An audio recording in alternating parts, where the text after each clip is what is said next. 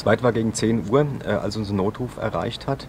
Ähm, meine Kollegen sind dann hierher gefahren. Das, es ging darum, dass äh, eine Person offenbar eine Stichverletzung äh, erlitten hat und im Bereich eines Anwesens schwer verletzt liegt. Meine Kollegen waren dann hier. Das Ganze hat sich bestätigt und der Rettungsdienst war auch sehr schnell vor Ort. Allerdings ist ein 76-Jähriger dann vor Ort noch verstorben. Äh, die Motive und die Hintergründe, weitere Umstände sind uns äh, derzeit noch vollkommen unklar.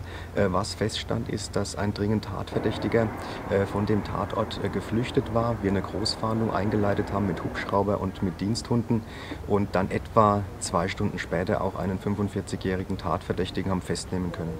Er stammt wohl aus der Nachbarschaft des 76-jährigen.